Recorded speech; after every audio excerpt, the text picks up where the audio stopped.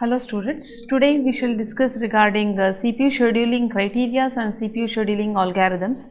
And especially we speak about the CPU scheduling uh, when we when we are going to introduce about the concept of operating systems.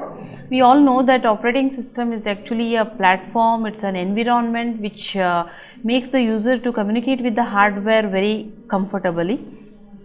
And when we are executing the instructions when we are executing the jobs in the operating system then the operating system has to take the responsibility of multi-programming multitasking where uh, it uh, executes more than one instructions per time. So actually uh, it is not the more than one instructions that are executed per time. So the operating system uh, switches between the processes and makes the uh, concept of multi-programming achieve that is implemented. So, the context switching is what actually is done. So, the CPU scheduling algorithm comes in the uh, place where the operating system has to decide which are the process which are to be executed and when we when the operating system decides which are the process that are to be executed inside the CPU, so then we have to speak regarding the CPU scheduling because the CPU has to decide the CPU has to uh, take the process and it has to execute its uh, uh, its instructions. So, in that context the CPU scheduling becomes very important. So, uh, we shall discuss about the three concepts here today the basic concept of CPU scheduling, the scheduling criteria that is what are the criteria that uh, has to satisfy so that we have to say that uh, uh, CPU scheduling algorithm is good and then the scheduling algorithms there are plenty of uh, algorithms that are available we have to follow those algorithms and uh, get the multi programming done. So, the basic concept is to uh, the CPU scheduler actually CPU scheduler is the one which has to decide which is the process which goes to CPU and gets its job done that is uh, which is the process which is selected because we always have uh, n number of uh, process which are waiting and uh, those n number of process are waiting in the ready queue of the process state. So, we all know that uh, it has to go through different states that is the process has to go through different states uh, that is new and uh, then executing, waiting and ready. So, uh, the CPU scheduler works in the place where that is in the ready queue. So, the ready queue has all the process which are waiting for the CPU. So, once my process is in the CPU, so then it is eligible to get executed and like uh, this one process there are also plenty of process which are waiting in the ready queue. And the CPU scheduler has to decide which is the process which goes next. And uh, we will also describe regarding uh, the different algorithms and also uh, the particular uh, criteria uh, which we have to uh, look into do, to compare between the two algorithms.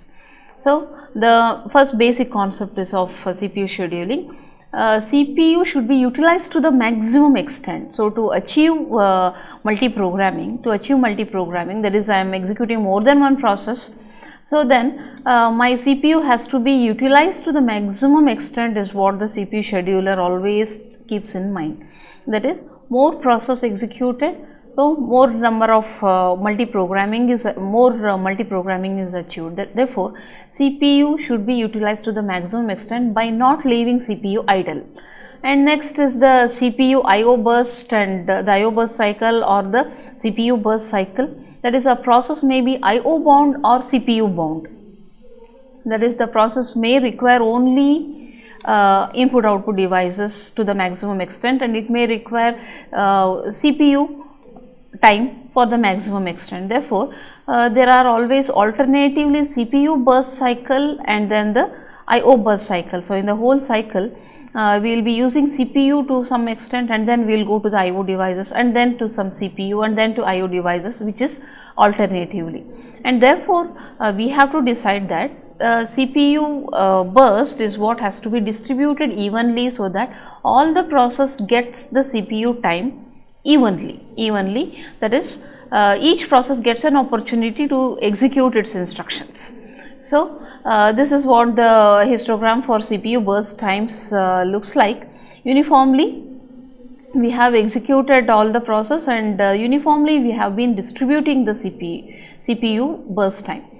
And uh, this is the picture where you can see the alternative sequences of uh, CPU and IO burst cycle.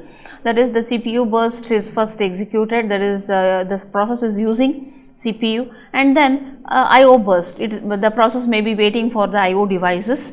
Therefore it, it has to wait. And then it gets CPU and then it gets to gets some IO devices. Like this alternatively we keep on uh, moving from IO burst to CPU burst and uh, now coming uh, very specific to the CPU scheduler what actually CPU scheduler means so you can uh, see in the slide where uh, there are uh, four different steps. In all these four different steps, the CPU switches from one state to another state. The scheduling decisions are taken in what all different uh, contexts. The first one is when the process switches from the running state to waiting state and when the process switches from running state to ready state and then the, when the process switches from uh, waiting state to back ready state and then the process terminates. So, uh, when the process are uh, waiting in the ready queue, so when they are waiting and they have been uh, the waiting is continuing, then the CPU scheduler decides which is the process which should come. So, uh, there are two types of uh, CPU scheduling algorithms, one is uh, preemptive and the other is non-preemptive. So, preemptive is we are stopping in the middle when the process is executing in the CPU because of some reason we are stopping that process that is preemptive. The other is uh, non-preemptive where uh, the process comes inside the CPU, it executes all its instructions and then wants to uh, terminate and then finally it terminates and where uh, we have not done any uh, interruption to the process so therefore that becomes non-preemptive. The scheduling so in all the four uh, uh, points that you have seen in this uh, the the scheduling which works under 1 and 4 that means it is running it is running and it has gone to the waiting state for some IO devices and uh, it is waiting in the uh, queue and then it terminates these are the two uh, situations where we say that the scheduling is non preemptive non preemptive in the sense some event or some uh, other process has not inter interpret that particular process, but uh, the process has gone to the waiting state and it has come to the terminate state by its own. And uh, the all the other algorithms that is uh, preemptive algorithms, so they work in uh, the second and the third where uh, when the process is executing and because of some reason because of some other process has come uh, the this process has to stop its execution and then it has to go out of the CPU. So, so uh, those, those situations we say that the algorithm is preemptive. Therefore, the CPU scheduling algorithm works in two types. One is uh, preemptive and the other is uh, non-preemptive.